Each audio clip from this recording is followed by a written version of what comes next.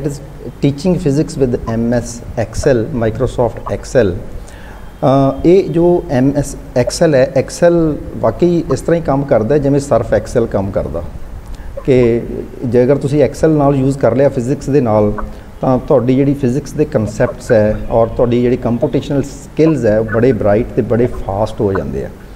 ਤਾਂ ਇਹਦੇ ਚ ਜੋ ਬੇਸਿਕਲੀ ਜੋ ਇਹ ਫਿ- ਅ, ਜਿਹੜਾ MS Excel ਹੈ ਇਹ ਡਿਵੈਲਪ ਵੀ ਫਿਜ਼ਿਕਸ ਦੇ ਟੀਚਰ ਨੇ ਹੀ, ਜੋ ਫਿਜ਼ਿਸਿਸਟ ਸੀ, ਉਹਨਾਂ ਨੇ ਹੀ ਕੀਤਾ ਸੀ। ਤੋ ਤਾਂ ਏਮ ਜੋ ਮੈਂ ਸੋਚ ਕੇ ਰੱਖਿਆ ਸੀ ਕਿ ਅਸੀਂ ਇਸ ਤਰ੍ਹਾਂ ਦੇ ਟਾਕ ਕਰਦੇ ਆਂ ਇਸ ਤਰ੍ਹਾਂ ਦੇ ਅਸੀਂ ਵਰਕਸ਼ਾਪਸ ਕਰਦੇ ਆਂ ਤਾਂ ਮੈਂ ਸੋਚ ਰਿਹਾ ਸੀ ਕਿ ਏਮ ਕੀ ਹੈ?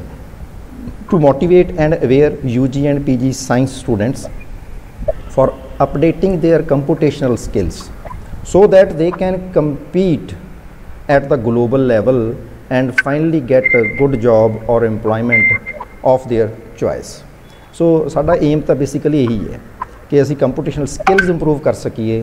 ਅਸੀਂ ਕੋਈ ਜਿਹੜਾ ਉਹਨਾਂ ਦੇ, ਉਹਨਾਂ ਕੋਲੇ ਇੱਕ- ਉਹਨਾਂ ਦੇ ਕੋਲੇ ਇੱਕ ਸਕਿੱਲ ਆ ਜੇ ਜਿਹਦੇ ਨਾਲ ਉਹ ਕਿਸੇ ਵੀ ਫੀਲਡ 'ਚ ਜਾਣ ਤੇ ਉਹ ਉਹਨਾਂ ਦੇ ਲਈ ਯੂਜ਼ਫੁਲ ਰਹੇ। ਮੈਂ ਮੈਂ ਇਹ, ਇੱਥੇ ਤੁਹਾਨੂੰ ਦਾਅਵੇ ਨਾਲ ਇਹ ਕਹਿ ਸਕਦਾ ਹਾਂ ਕਿ ਐਮਐਸ ਐਕਸਲ ਹੈ। ਉਹ ਤੁਸੀਂ ਕਿਸੇ ਵੀ ਫੀਲਡ 'ਚ ਜਾਓ, ਚਾਹੇ ਤੁਸੀਂ ਰਿਸਰਚ 'ਚ ਜਾਂਦੇ ਹੋ ਅੱਗੇ ਔਰ ਤੁਸੀਂ ਕਿਸੇ ਜੌਬ 'ਚ ਜਾਂਦੇ ਹੋ, ਔਰ ਬੈਂਕਿੰਗ ਸੈਕਟਰ 'ਚ ਜਾਂਦੇ ਹੋ ਫਾਈਨਾਂਸ 'ਚ ਜਾਂਦੇ ਹੋ ਕੋਈ ਵੀ ਕੰਮ ਕਰਦੇ ਹੋ, ਤਾਂ ਐਮਐਸ ਐਕਸਲ ਤੁਹਾਡੇ ਹਰ ਫੀਲਡ ਦੇ ਵਿੱਚ ਕੰਮ ਆਊਗਾ। ਸੋ ਮੈਂ ਤਾਂ ਇਹ ਵੀ, ਇਹ ਗੱਲ ਵੀ ਕਹਿਣਾ ਹੁੰਦਾ ਕਿ ਐਮਐਸ ਐਕਸਲ ਨੂੰ ਸਾਡੀ ਜਿਹੜੇ ਸਾਡੇ 9th 10th ਔਨਵਰਡਸ ਔਰ 8th 9th ਦੇ ਵਿੱਚ ਹੀ ਕੰਪਲਸਰੀ ਹੋ ਜਾਣਾ ਚਾਹੀਦਾ ਜਿਵੇਂ ਮੈਥ ਦੀ ਬੁੱਕ ਹੈ, ਨਾਲ ਇਸੇ ਤਰ੍ਹਾਂ ਹੀ ਐਮਐਸ ਐਕਸਲ ਦੀ ਹੈ। ਹਾਂ ਕੁਝ ਐਫਰਟਸ ਕੀਤੇ ਹੈ ਕੁਝ ਸਕੂਲਸ ਦੇ ਵਿੱਚ ਇਹ ਕਰਵਾਇਆ ਜਾਂਦਾ ਹੈ ਬਟ ਸਾਡੇ ਨਾਰਥ ਇੰਡੀਆ ਦੇ ਵਿੱਚ ਜ਼ਿਆਦਾ ਇੱਧਰ ਜਿਹੜਾ ਸਿਲੇਬਸ ਦਾ ਪਾਰਟ ਤਾਂ ਬਣਾਤਾ ਬਟ ਉਹਨੂੰ ਜਿਹੜਾ ਸੀਰੀਅਸਲੀ ਨਹੀਂ ਕਰਾਇਆ ਜਾ ਰਿਹਾ ਜਸਟ ਉਹ ਇੱਕ ਫਾਰਮੈਲਿਟੀ ਹੈ ਕਿ ਉਹਨਾਂ ਨੇ ਇੱਕ ਫਾਈਲ ਬਣਾਉਣੀ ਹੈ ਤੇ ਠੀਕ ਹੈ। ਬਟ ਸਾਊਥ ਇੰਡੀਆ ਦੇ ਵਿੱਚ ਪ੍ਰੋਗਰਾਮਿੰਗ ਲੈਂਗੁਏਜਸ 6th ਔਨਵਰਡਸ ਬੱਚੇ ਕਰਦੇ ਆ ਅੱਜ ਕੱਲ੍ਹ ਅਸੀਂ ਦੇਖ ਵੀ ਰਹੇ ਹਾਂ, ਸਾਡੇ ਬੱਚੇ ਪਹਿਲਾਂ ਕੰਪੀਟੀਸ਼ਨ ਦੀ ਤਿਆਰੀ ਕਰਦੇ ਆ ਨਾਲ ਨਾਲ ਉਹਨਾਂ ਨੂੰ ਫਿਰ ਕੋਡਿੰਗ ਵੀ ਕੀ- ਕਰਾਈ ਜਾ ਰਹੀ ਹੈ। What is coding coding is programming ਤਾਂ ਪ੍ਰੋਗਰਾਮਿੰਗ ਅਸੀਂ ਕਿਉਂ ਪਲੱਸ 2 ਤੋਂ ਬਾਅਦ ਜਾ ਕੇ ਸ਼ੁਰੂ ਕਰਵਾਉਂਦੇ ਆ ਜਦੋਂ ਬੱਚੇ ਦੀ ਕੈਪਟੀਵਿਟੀ ਹੈ, ਜਦੋਂ ਅਸੀਂ ਉਹਨੂੰ ਲੈਂਗੁਏਜ ਸਿਖਾ ਸਕਦੇ ਹਾਂ, ਹੋਰ ਕੋਈ ਲੈਂਗੁਏਜ ਸਿਖਾ ਸਕਦੇ ਹਾਂ ਫੋਰ ਐਗਜ਼ਾਮਪਲ ਇੰਗਲਿਸ਼ ਸਿਖਾ ਸਕਦੇ ਹਾਂ ਹਿੰਦੀ ਸਿਖਾ ਸਕਦੇ ਹਾਂ ਔਰ ਉਰਦੂ ਸਿਖਾ ਸਕਦੇ ਹਾਂ, ਉਸੇ ਤਰ੍ਹਾਂ ਅਸੀਂ ਕੰਪਿਊਟਰ ਦੀ ਲੈਂਗੁਏਜ ਕਿਉਂ ਨਹੀਂ ਸਿਖਾ ਸਕਦੇ? 6th ਔਨਵਰਡਸ ਤਾਂ ਇਹ ਵੀ ਇੱਕ ਪਾਰਟ ਹੈ ਕਿਉਂਕਿ ਅਸੀਂ ਮਿਸ ਕੀਤਾ ਹੋਇਆ, ਇਸ ਕਰਕੇ ਸਾਨੂੰ ਇਸ ਤਰ੍ਹਾਂ ਦੇ ਪ੍ਰੋਗਰਾਮ ਕਰਨੇ ਪੈ ਰਹੇ ਆ ਤਾਂ ਥਿਸ ਇਜ਼ ਇਹ ਸਲਾਈਡ ਇਸ ਕਰਕੇ ਹੈ ਕਿ ਕਿਉਂ ਕਰੀਏ ਇਸ ਤਰ੍ਹਾਂ ਦੇ program MS Excel is one of the easiest and user friendly computational tool for all ਇਹ ਹਰ ਕੋਈ ਸਿੱਖ ਸਕਦਾ ਹੈ।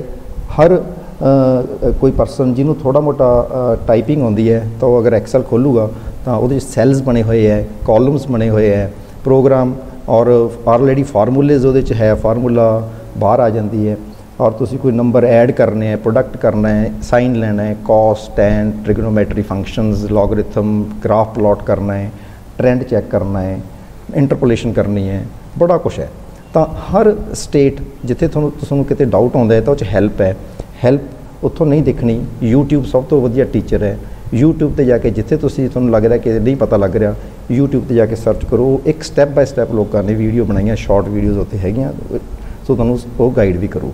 ਤਾਂ ਇਹ ਮੈਂ ਜ਼ਿਆਦਾ ਜਿਹੜਾ ਹੈਗਾ, ਇਹੀ ਦੱਸਣਾ ਚਾਹੂੰਗਾ ਕਿ MS Excel ਬਹੁਤ ਹੀ ਯੂਜ਼ਫੁਲ ਟੂਲ ਹੈ, ਜਿਸ ਤਰ੍ਹਾਂ ਟੀਚਰ ਕੋਲ ਇੱਕ ਪੈਨ ਹੋਣਾ ਚਾਹੀਦਾ ਹੈ, ਇਸੇ ਤਰ੍ਹਾਂ ਹੀ ਫਿਜ਼ਿਕਸ ਦੇ ਟੀਚਰ ਨੂੰ MS Excel ਤਾਂ ਐਟਲੀਸਟ ਆਉਣਾ ਚਾਹੀਦਾ ਹੀ ਹੈ।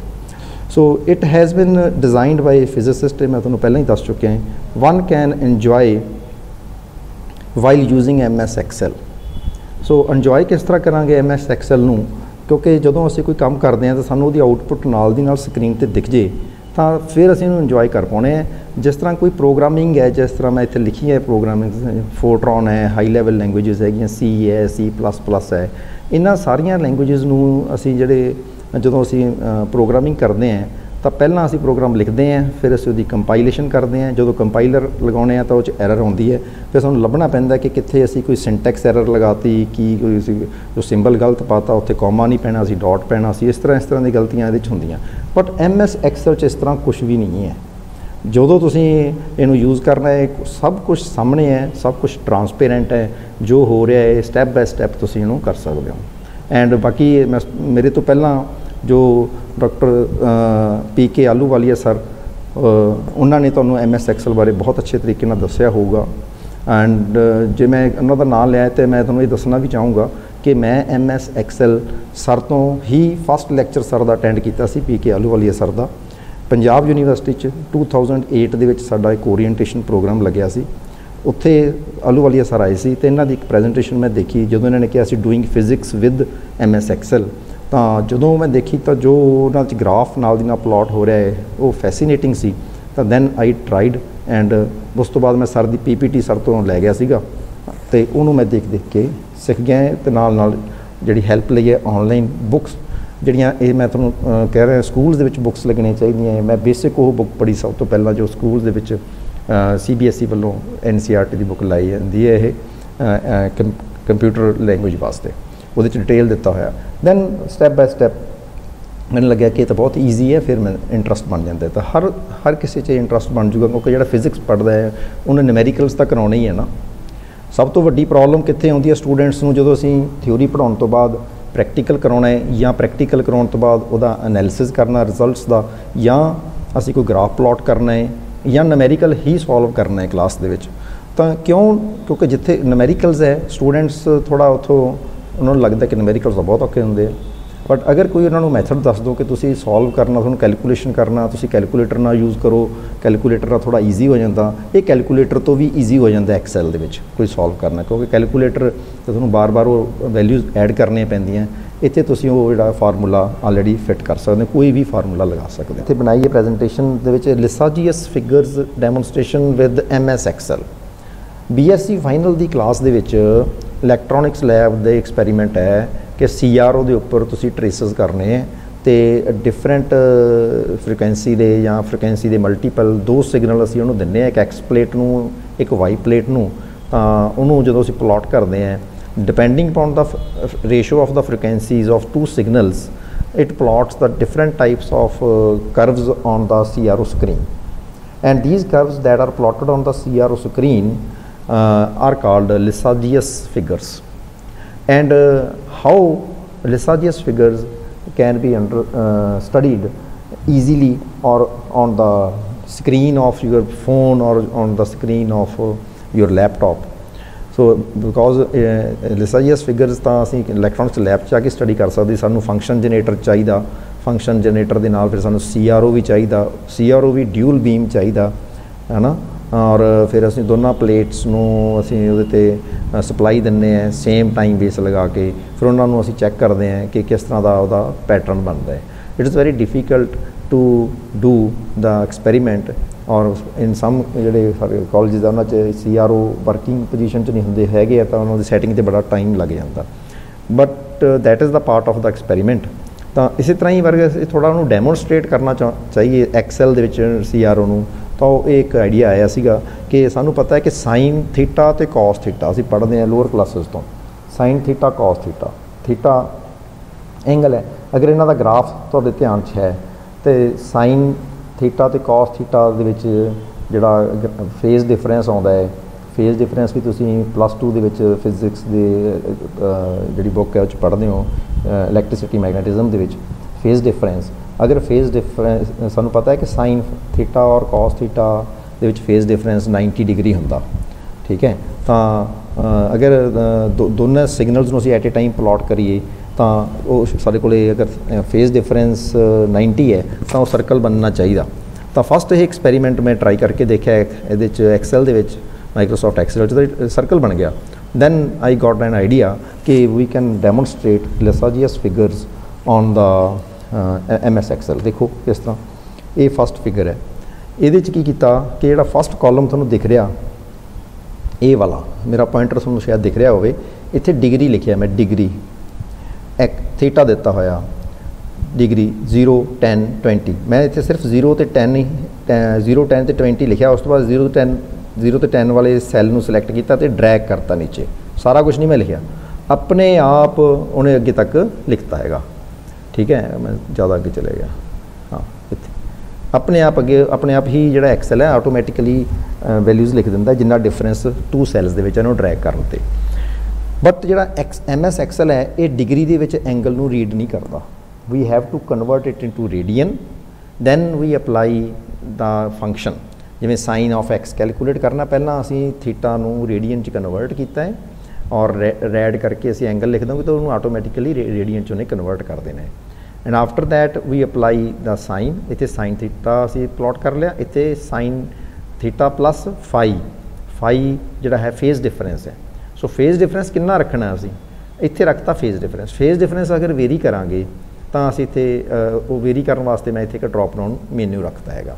ਤਾਂ in in this case particular case phase difference 90 ਰੱਖ ਕੇ ਚੱਲ ਰਹੇ ਹਾਂ ਇਹਦਾ ਮਤਲਬ ਆ sin ਥੀਟਾ ਹੈ ਇਹ sin ਥੀਟਾ ਪਲੱਸ 90 ਹੈ sin 90 ਪਲੱਸ ਥੀਟਾ ਹੁੰਦਾ ਹੈ cos so in this case this is cos theta and this is sin theta ਇਹ ਵਾਲੀਆਂ ਸਾਰੀਆਂ ਵੈਲਿਊਜ਼ sin ਥੀਟਾ ਦੀਆਂ ਸਾਰੀਆਂ ਵੈਲਿਊਜ਼ cos ਥੀਟੇ ਦੀਆਂ ਥੀਟਾ ਇੱਧਰ ਤੁਹਾਨੂੰ ਦਿਖ ਰਿਹਾ ਹੈ ਉਹਨੂੰ ਰੇਡੀਅਨ ਚ ਕਨਵਰਟ ਕੀਤਾ ਹੈ ਨੈਕਸਟ ਕਾਲਮ ਚ ਤਾਂ sin ਥੀਟਾ ਤੇ cos ਥੀਟਾ ਦੇ ਕਾਲਮ ਹੈ I think it is clear now we have to plot ਇਹਨੂੰ ਦੋਨਾਂ ਨੂੰ ਕਾਲਮ ਨੂੰ ਸਿਲੈਕਟ ਕਰੋ ਸਿਲੈਕਟ ਕਰਨ ਤੋਂ ਬਾਅਦ ਇਨਸਰਟ ਕਰੋ। ਇੱਥੇ ਇਨਸਰਟ ਦਾ ਇਹ ਕਾਲਮ ਹੈ। ਇਨਸਰਟ ਕਰਨ ਤੋਂ ਬਾਅਦ ਪਲਾਟ ਕਰ ਦਿਓ। ਉੱਥੇ ਗ੍ਰਾਫ ਆ ਜਾਂਦੇ ਆ you can plot and then you plot it automatically plots this these two columns and you get the circle so ਜਦੋਂ ਇਸ ਤਰ੍ਹਾਂ ਸਰਕਲ ਬਣਿਆ ਤਾਂ ਫਿਰ ਮੈਨੂੰ ਆਪਾਂ ਨੂੰ ਲੱਗਿਆ ਕਿ ਦੇਖੋ ਲਿਸਾ ਜੀ ਇਸ ਫਿਗਰ ਦੇ ਅਕੋਰਡਿੰਗਲੀ ਬਣ ਰਿਹਾ। ਦੈਨ ਆਈ ਮੋਡੀਫਾਈ ਇਟ ਤਾਂ ਇਹ ਜਿਹੜੀਆਂ ਵੈਲਿਊਜ਼ ਹੈ, ਅਸੀਂ ਇਹਨੂੰ ਕਲਿੱਕ ਕਰਾਂਗੇ ਤਾਂ ਡਿਫਰੈਂਟ ਡਿਫਰੈਂਟ ਸਾਡੇ ਕੋਲ ਇੱਥੇ ਵੈਲਿਊਜ਼ ਆ ਜਾਣਗੀਆਂ। ਤਾਂ ਜਿਸ ਤਰ੍ਹਾਂ ਲਿਸਾ ਜੀ, ਇਸ ਫਿਗਰਸ ਵਿਕੀਪੀਡੀਆ ਦੇ ਉੱਪਰ ਦਿੱਤੀਆਂ। ਆ ਟੇਬਲ ਜਿਹੜਾ ਮੈਂ ਪਿਕਚਰ ਚੱਕੀ ਹੋਈ ਹੈ, ਇਹ ਵਿਕੀਪੀਡੀਆ ਤੋਂ ਕਾਪੀ ਕਰਕੇ ਪੇਸਟ ਕੀਤੀ ਆ ਵਾਲੀ ਪਿਕਚਰ ਇਹ ਜਿਹੜੀ ਪਿਕਚਰ ਤੁਹਾਨੂੰ ਦਿਖ ਰਹੀ ਹੈ ਲਿਸਾ ਜੀ, ਇਸ ਫਿਗਰਸ ਜਿਹੜਾ ਜਿਹੜਾ ਬੜਾ ਕਲਰਫੁਲ ਜਿਹਾ ਬਣ ਗਿਆ। ਇਹ ਜਿਹੜਾ, ਇਹ ਇਹ ਐਕਸਲ ਇੱਥੋਂ ਇਹ ਪਲਾਟ ਕਰ ਰਿਹਾ ਹੈਗਾ। ਅਗਰ ਅਸੀਂ ਦੇਖੋ ਉੱਥੇ 40 ਜਿੱਥੇ 90 ਸੀ 90 ਦੀ ਜਗ੍ਹਾ ਤੇ 45 ਕਰ ਦਾਂਗੇ ਤੇ ਫਿਗਰ ਚੇਂਜ ਹੋ ਰਹੀ ਹੈ, ਦਿਖ ਰਹੀ ਹੋਊਗੀ ਤੁਹਾਨੂੰ। ਫਿਗਰ ਚੇਂਜ ਹੋ ਰਹੀ ਹੈ। ਸੋ ਇਹ ਬਿਲਕੁਲ ਉਵੇਂ ਬਣ ਰਹੀ ਹੈ। ਸਾਡੇ ਕੋਲ 45 ਤੇ ਸਾਨੂੰ ਜਿੰਨਾ ਬਣਨਾ ਚਾਹੀਦਾ ਸੀਗਾ, ਇਹ ਐਲਿਪਸ ਬਣਨਾ ਚਾਹੀਦਾ ਸੀਗਾ ਇਨਕਲਾਈਨਡ ਐਲਿਪਸ ਬਣਨਾ ਜਿਵੇਂ ਬਣ ਰਿਹਾ। ਅਗਰ ਜ਼ੀਰੋ ਹੈ ਫੇਜ਼ ਡਿਫਰੈਂਸ ਦੋਨਾਂ ਦੇ ਵਿੱਚ। ਹੁਣ ਫੇਜ਼ ਡਿਫਰੈਂਸ ਜ਼ੀਰੋ ਕਰਤਾ ਆ ਵੀ sin ਥੀਟਾ ਇਹ ਵੀ sin ਥੀਟਾ ਸੇਮ ਵੈਲਿਊਜ਼ ਆ ਗਈਆਂ। ਤੁਹਾਨੂੰ ਦਿਖ ਰਿਹਾ ਹੋਊਗਾ ਇੱਥੇ ਸਕਰੀਨ ਦੇ ਉੱਪਰ ਸੇਮ ਵੈਲਿਊਜ਼ ਆ ਗਈਆਂ ਦੋਨੇ। ਤਾਂ ਇਹ ਜਿਹੜੀਆਂ ਸੇਮ ਵੈਲਿਊਜ਼ ਹੈ, ਜਦੋਂ ਪਲਾਟ ਕਰਾਂਗੇ ਤਾਂ it get got a straight line ਠੀਕ ਹੈ? ਐਂਡ ਇਹ ਇਹ ਵਾਲੀ ਜਿਹੜੀ ਇੱਥੇ ਬਣ ਰਹੀ ਹੈ ਲਾਈਨ ਦਿਖ ਰਹੀ ਹੈ ਤੁਹਾਨੂੰ। ਇਸੇ ਤਰ੍ਹਾਂ ਹੀ ਅਸੀਂ ਨੈਕਸਟ ਜੇ ਚੱਲਦੇ ਹਾਂ, ਅਗਰ 135 ਕਰ ਦਈਏ ਦੈਟ ਇਜ਼ 90 45 ਦੈਨ ਇਹ ਸਾਡੇ ਕੋਲ ਇਲਿਪਸ ਉਸ ਤਰ੍ਹਾਂ ਹੀ ਬਣ ਗਿਆ ਜਿਵੇਂ ਇੱਧਰ ਬਣ ਰਿਹਾ ਸੀ ਸਿਮੈਟ੍ਰੀਕਲ ਇਧਰਲੇ ਸਾਈਡ ਤੇ ਬਣ ਗਿਆ ਇਹ। ਔਰ ਅਗਰ ਅਸੀਂ ਫੇਸ ਡਿਫਰੈਂਸ 180 ਕਰਤਾ, ਤਾਂ ਅਗੇਨ ਜਿਹੜਾ ਸਟ੍ਰੇਟ ਲਾਈਨ ਆਊਗੀ। 0 ਤੇ ਵੀ ਸਟ੍ਰੇਟ ਲਾਈਨ ਸੀ 90 ਤੇ ਸਰਕਲ ਸੀ 45 ਤੇ ਇਲਿਪਸ ਸੀ ਇਨਕਲਾਈਨਡ 135 ਤੇ ਵੀ ਇਲਿਪਸ ਸੀ। ਇੱਥੇ ਦੇਖ ਲਓ। ਇੱਥੇ ਸਟ੍ਰੇਟ ਲਾਈਨ ਸੀ 0 ਤੇ, ਇੱਥੇ ਇਲਿਪਸ ਸੀ, ਇੱਥੇ ਆ ਗਿਆ ਸਰਕਲ ਜਦੋਂ ਤ- 90 ਐਂਗਲ ਆਇਆ, ਜਦੋਂ 135 ਆਇਆ, ਫਿਰ ਇਲਿਪਸ ਆ ਗਿਆ, ਫਿਰ ਫਿਰ ਇੱਕ ਲਾਈਨ ਆ ਗਈ। ਇਹਦਾ ਐਂਗਲ ਜਿਹੜਾ ਡਿਫਰੈਂਟ ਹੈ ਸਲੋਪ ਡਿਫਰੈਂਟ ਆ ਉਹਦੇ ਨਾਲੋਂ। ਔਰ ਇਹਦਾ ਬਿਲਕੁਲ ਜਿਹੜਾ ਮਿਰਰ ਇਮੇਜ ਹੈ ਇਸ ਤੇ ਬਾਟਮ ਤੇ। ਇਹਦਾ ਬਾਟਮ ਹੈ ਜਿਹੜਾ ਇਸ ਫਿਗਰ ਦਾ, ਇਹਦਾ ਮਿਰਰ ਇਮੇਜ ਹੈ। ਅਗਰ ਅਸੀਂ ਇਹ ਜਿਹੜੀਆਂ 3 ਫਿਗਰਸ ਬਣਾ ਲਈਆਂ, ਉਹ, ਉਹਦਾ ਮਿਰਰ ਇਮੇਜ ਹੀ ਬਾਟਮ ਹੈ। ਔਰ ਇੱਥੇ ਤੁਹਾਨੂੰ ਫੋਰ ਸ਼ੇਡ ਦਿਖ ਰਹੇ ਹੈ ਜਿਹਦੇ ਚ ਦੋਨੇ ਗ੍ਰੇ ਤੇ ਦੋਨੇ ਵਾਈਟ ਸੋ ਜਿਹੜਾ ਫਸਟ ਫਸਟ ਕੁਆਡਰੈਂਟ ਹੈ ਇਹ ਵਾਲਾ, ਇਹ 'ਚ ਇੱਕ ਲਾਈਨ ਸੀ, ਇੱਕ ਲਿਪਸ ਸੀ, ਇੱਕ ਸਰਕਲ ਸੀ। ਇਹਦਾ ਇਮੇਜ ਇਧਰਲੀ ਸਾਈਡ ਤੇ ਸੀਗਾ, ਉਹਦੇ ਲੈਫਟ ਸਾਈਡ ਤੇ, ਜਿਹੜਾ ਵਾਈਟ ਵਾਲਾ। ਔਰ ਇਹਨਾਂ ਦੋਨਾਂ ਦਾ ਇਮੇਜ ਬਾਟਮ ਤੇ। ਇਸ ਕਰਕੇ ਸਾਨੂੰ ਤਿੰਨ ਫਿਗਰਸ ਹੀ ਬਣਾਈਆਂ ਇਹਦੇ 'ਚ ਅਸੀਂ। ਇੱਕ ਲਾਈਨ ਹੈ, ਇੱਕ ਲਿਪਸ ਹੈ, ਇੱਕ ਸਰਕਲ ਹੈ। ਔਰ ਉਹਦਾ ਇਮੇਜ ਲੈਫਟ ਸਾਈਡ ਤੇ, ਔਰ ਉਹਦਾ ਇਮੇਜ ਬਾਟਮ ਤੇ ਚਲੇ ਗਏ। ਸੋ ਸਾਰੇ ਐਂਗਲਸ ਕਵਰ ਹੋ ਜਾਂਦੇ ਇਹਦੇ ਨਾਲ। ਸੋ ਇਹ ਵੀ ਅਸੀਂ ਬੜੇ ਅੱਛੇ ਤਰੀਕੇ ਨਾਲ ਬੜੇ ਈਜ਼ੀਲੀ ਲਿਸਾਜੀਅਸ ਫਿਗਰਸ ਨੂੰ ਐਕਸਪਲੇਨ ਕਰ ਪਾਉਨੇ ਆ। ਜੂਟ ਦੇ ਵਿੱਚ ਬੜੇ ਵਧੀਆ ਇਨੀਸ਼ੀਏਟਿਵਸ ਲੈਂਦੇ ਆ ਲਾਈਕ ਜਿਵੇਂ ਸਰ ਨੇ ਹੁਣੇ ਇਨੋਵੇਸ਼ਨ ਹੱਬ ਦੀ ਗੱਲ ਕੀਤੀ ਹੈ ਔਰ ਨੰਬਰ ਆਫ ਐਕਸਪੈਰੀਮੈਂਟਸ ਜਿਹੜੇ ਸਰ ਨੇ ਉਹਦੇ ਵਿੱਚ ਇਨਕਲੂਡ ਕੀਤੇ ਆ ਔਰ ਹੋਰ ਵੀ ਕਰਨ ਜਾ ਰਹੇ ਆ। ਜਿਵੇਂ ਸਰ ਦਾ ਮੈਂ ਇਹ ਦੇਖਾਂਗੇ ਕਿ ਸਰ ਤੁਹਾਡਾ ਇੱਕ ਜਿਹੜਾ એનર્ਜੀ ਲੈਵਲ ਹੈ ਕਿ ਸਟੂਡੈਂਟਸ ਵਾਸਤੇ ਕਿਸ ਤਰ੍ਹਾਂ ਨਵੀਆਂ ਨਵੀਆਂ ਚੀਜ਼ਾਂ ਆਪਾਂ ਇਨਕਲੂਡ ਕਰ ਸਕਦੇ ਆ ਕੀ ਕੀ ਹੋਰ ਕਰ ਸਕਦੇ ਆ। So that's really very nice sir very good hats off to you for that ਜਿਹੜਾ ਆਈਏਪੀਟੀ ਵਾਲਾ ਮੈਡਮ ਜਿਹੜਾ ਹੈ ਨਾ ਗਰੁੱਪ ਹੈ ਉਹ ਸਾਨੂੰ ਸੋਰਸ ਆਫ ਮੋਟੀਵੇਸ਼ਨ ਤੇ એનર્ਜੀ ਦਾ ਉਹੀ ਸੋਰਸ ਹੈ ਸਾਡੇ ਕੋਲ। ਤਾਂ ਉਹਦੇ ਵਿੱਚ ਜਿਵੇਂ ਪੀਕੇ ਸਰ ਹੈ ਜਾਂ ਉਹਦੇ ਸੰਸਥਾ ਮੈਡਮ ਹੈ ਜਾਂ ਸੁਰਿੰਦਰ ਸਿੰਘ ਸਰ ਹੈ ਤੁਸੀਂ ਉਹਨਾਂ ਨੂੰ ਜਦੋਂ ਦੇਖਦੇ ਹੋ ਸੁਣਦੇ ਹੋ ਤਾਂ ਤੁਹਾਨੂੰ ਲੱਗਦਾ ਹੈ ਕਿ ਅਸੀਂ ਵੀ ਕੁਝ ਨਾ ਕੁਝ ਕਰ ਸਕਦੇ ਹਾਂ। ਥੋੜਾ ਥੋੜਾ ਕਰਦੇ ਰਹੀਏ ਤਾਂ ਆਪਾਂ ਸਾਰੇ ਰਲ ਕੇ ਬਹੁਤ ਅੱਛਾ ਕੰਮ ਕਰ ਲਾਂਗੇ। ਜਿਵੇਂ ਜਿਹੜਾ ਸਾਡਾ ਬਹੁਤ ਵਧੀਆ ਕੰਮ ਕਰ ਆਈਏਪੀਟੀ ਬਣੀ ਇਸ ਕੰਮ ਲਈ ਹੈ Indian association of physics teachers to promote physics ਔਰ ਐਕਸਪੈਰੀਮੈਂਟਸ ਹੈ ਨਾ ਤਾਂ ਬਿਲਕੁਲ ਸਰ ਅਗਰ ਇੱਕ ਤੇ ਇੱਕ 11 ਹੋ ਸਕਦੇ ਆ ਤਾਂ ਇੰਨੇ ਜਾਣੇ ਮਿਲ ਕੇ ਅਗਰ ਇੰਨਾ ਅੱਛਾ ਕੰਮ ਕਿਉਂ ਨਹੀਂ ਕਰ ਸਕਦੇ ਕਰ ਸਕਦੇ ਬਿਲਕੁਲ ਕਰ ਸਕਦੇ ਡੈਫੀਨਿਟਲੀ ਚਲੋ thank you so much okay Thank you, thank you Doctor.